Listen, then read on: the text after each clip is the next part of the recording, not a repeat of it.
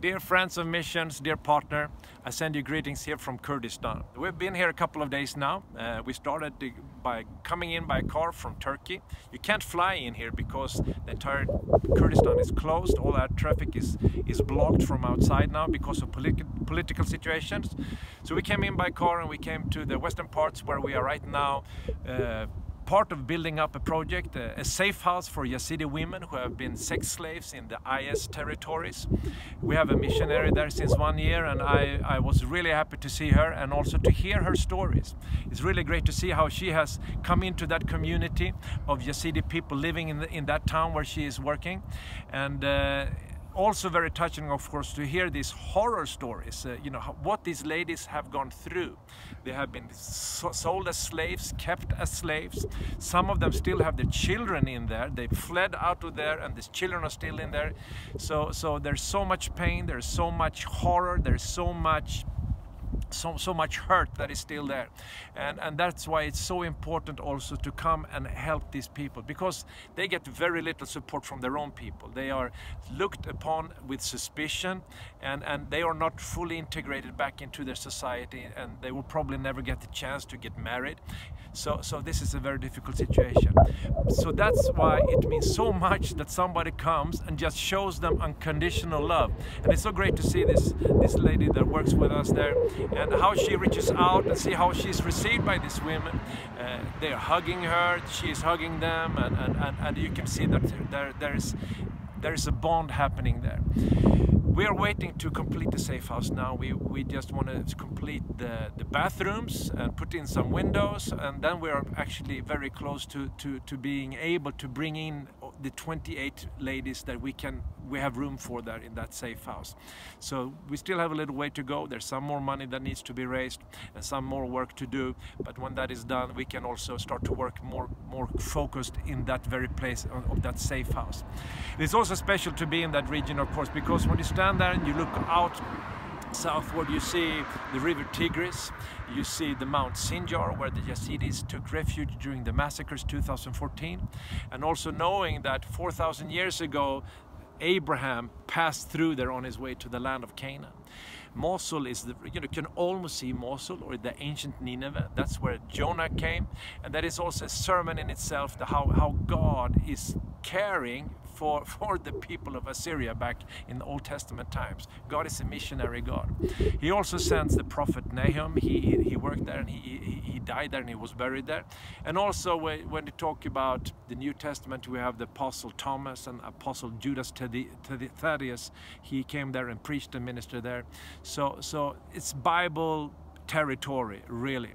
And uh, after that, we have come a little bit further. Now we're further east, and we're not very far from the border to Iran. And uh, it's a very sensitive political situation here, not very far from here. There was hostilities happening about two months ago. There are big battles, and, and to come here, we had to take an, take an extra, another route to come in here. So because the main road is blocked. So, so here in this part we are right now running a Bible school and it's really great to meet these people. Uh, yesterday I talked with a young guy, he, he came to Christ about six, years, six months ago. He has a background as a radical Muslim but now he's radical for Jesus and, and he's so hungry and you can see his face is shining and, and he wants to get to know Jesus better, he wants to get into the Word of God. I asked him, you know, does your family know about, about you uh, and your Christian faith? And he said, no, you know, if they know, it's this. So this is actually reality today, that Muslims that convert to Christianity, they come to Jesus, they also risk their life or they risk severe persecution. But what is positive? And I, I had a very good, interesting uh, talk with a with a past pastor actually in in in, uh, in another city here, nearby here, and he said like this: that there are things happening here in Kurdistan now that that there is a trend toward greater religious freedom. That people will actually be able to go from Islam to Christianity without any repercussions from the, from the society, and they are so tired of Islam. They're tired because it's an Arab religion. It's an Arab Quran written in Arabic, and now they had IS, and this Arabic speaking extreme Islamism, and they're so tired of it, and they, they're looking for something else. And we have something to offer, and they know that. And, and, and they don't say it publicly, but they come to Christian leaders and they say, you know, if you do this, if you do these projects, and you know, we will help you and we'll support that. In that way, we can create another environment here in our country. So this is very important this brother also told me something and I, I, loved what he said. He said that the fact that you're just coming to our country in this time of need is a sermon itself. And immediately when he said that I was thinking about Paul's expression to the Corinthians. He says that you are epistles of Christ. You're letters written by Christ. It's the Spirit of God that writes on your heart. So the fact of just showing up the, the fact is just coming to places in need is a sermon itself. And I just want to encourage you back home also that this is what you're a part of.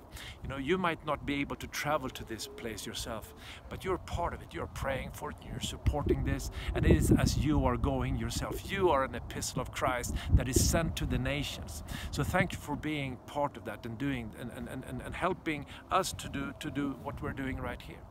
I, as I travel in here, we you know we travel through the mountains and this let this uh, verse from Isaiah came to my mind very strong and it's Isaiah 52 7 it says that how beautiful is the sound of the feet of those that bring the gospel. They come over them the mountains and they bring the good news.